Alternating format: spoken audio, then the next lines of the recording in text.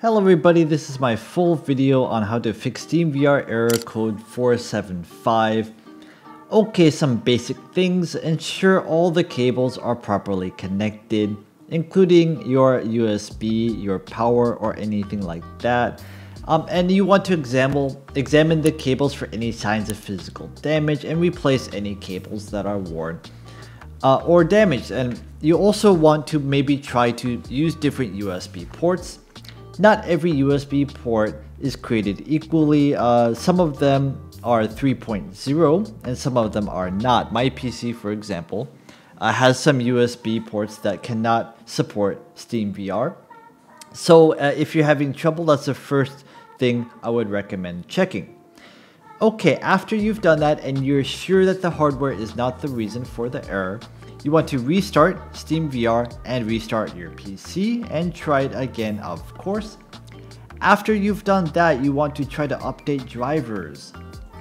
I'm not going to go too deep into how to do that, but use a, a NVIDIA app, go to drivers and install the newest drivers to see if that fixes your issue. Okay, now in Steam, uh, go to Steam, go to Library, go to Steam VR, right click on this, go to Properties, and you'll see a tab called Updates.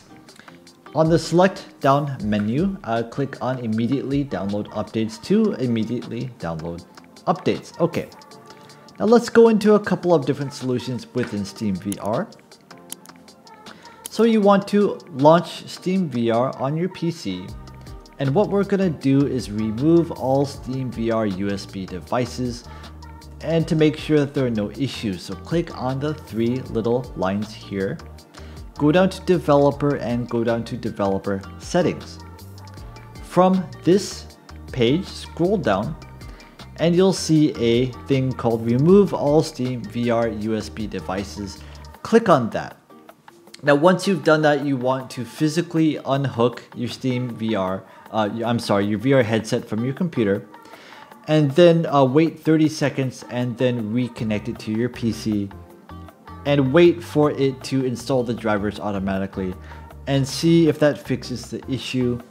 Now, if that still hasn't fixed fixed the issue, you might want to uh, disable power management uh, for Windows.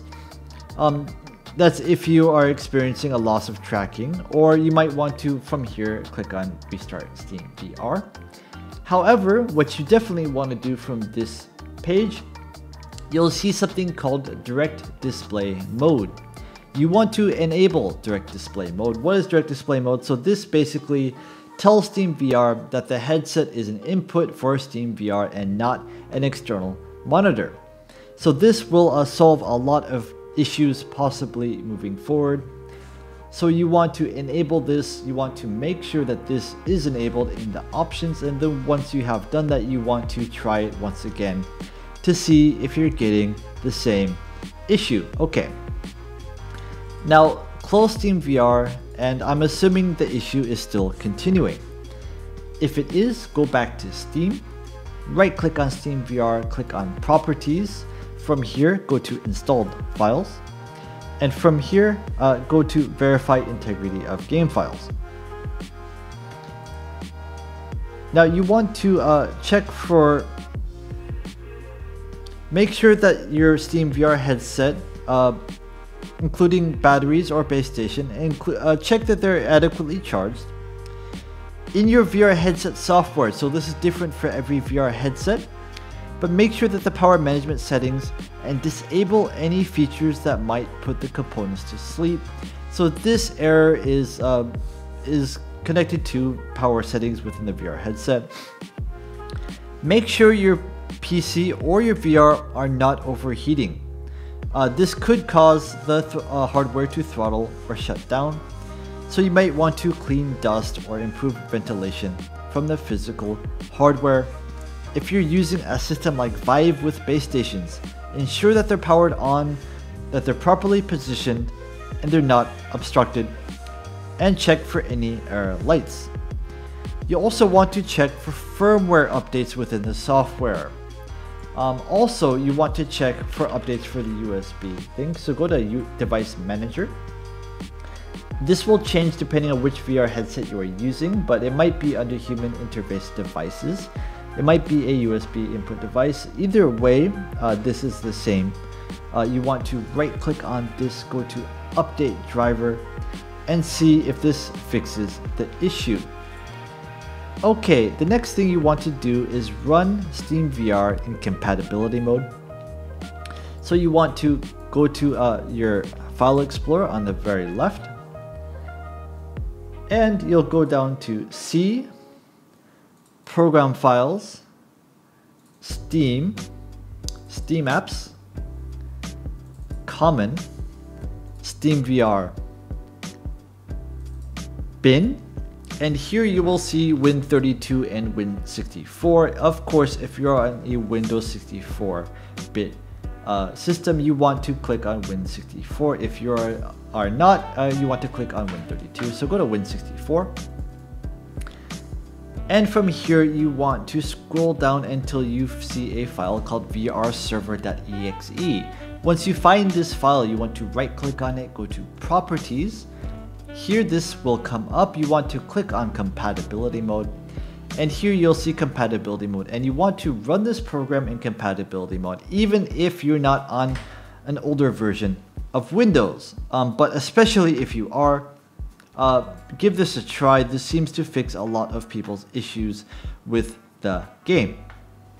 Okay, now you want to make sure that Steam VR is not blocked by your firewall. So you want to go to settings, And here on the left hand side, you see network and internet. Now this is the uh, internet that you are currently using. I'm currently using an ethernet cable to connect to the internet. So this comes up as ethernet, but you click on ethernet and by default it says public network slash recommended. You want to click on private network, save the settings and see if this fixes the issue.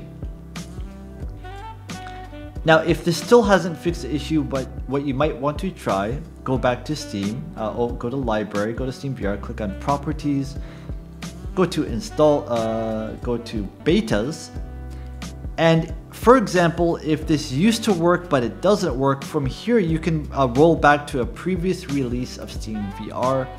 Um, you might want to try it anyway to rule out any kind of issues with the uh, uh, with the software. And uh, you might want to try the newest version, the newest beta of Steam VR to see if that fixes the issue.